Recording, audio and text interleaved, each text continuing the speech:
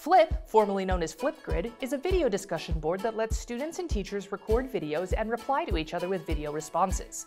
Teachers can use Flip to spark a conversation, build a community, make class presentations more interactive, and more.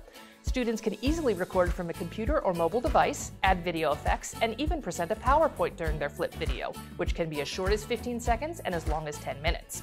Flip easily integrates into our Pitt Canvas site. With this integration, teachers can create Canvas assignments that are connected to Flip topics, so student videos will show up in SpeedGrader. Students will also be able to access the Flip assignments directly from Canvas, just as they would any other Canvas assignment.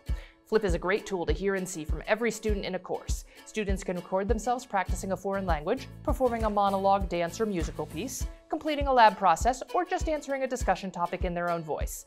To get started using Flip in your Canvas course, contact us to set up a consultation.